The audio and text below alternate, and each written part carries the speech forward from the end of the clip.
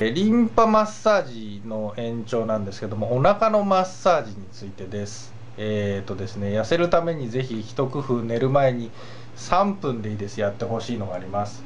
えー、いろんなマッサージがあります。こうぐるぐるぐるぐるっと回してとか流してとかあるんですけどそうじゃなくて私は、えー、皆さんに言ってるのはまずこうやって指を重ねてでへその上をグッと押してください。そうするともうほとんどの人が痛いです。リンパというのはお腹が中心になります、えー、太陽神経層。チャクラなんていう言い方もします。えー、魂の汚れた人。心のこう歪んだ人はチクチクと痛いです。大体みんな痛いんですけど。あたあた痛い痛い痛い痛い痛い痛い。えー、っとあのえー、要は流れがわわ悪くて痛いですよということです。このチクチクがいっぱいある人は痩せにくいです。このチクチクがいっぱいあって痩せている人は不健康なんです。もう極論言い切っていいと思います。で何をしてほしいかっていうともう一回いきますか。9箇所。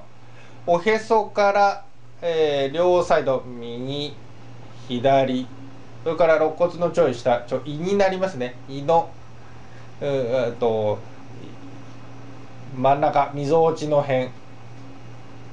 で左え、ー、とこ右左か。ここの3箇所ね。よいしょ。よいしょ。よいしょ。でおへその両サイド。で今度は腸のところ真ん中とサイド。要は全部で9箇所をイメージしてこう流すんじゃなくて指圧を指でこうやってかけてあげてほしい。で実際どことかっていうことじゃなくてやたらと痛いところがあると思います。ニューッと。あちょっとこならんでそう。みたいな。こうガスが溜まっている人もいると思います。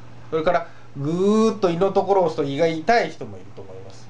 これ胃下垂ですよとか胃に食べ物がいつまでも残ってて胃が動けてませんねという人もいます。それから生理痛がひどい人はこの子宮の辺り痛かったりします。これを自分で流すんじゃなくてぐーっと押してってあげる。であまりにも痛いなと思う人はいっぺん健康診断を受けてください。そんな基準にしてもらえると嬉しいなというふうに思います。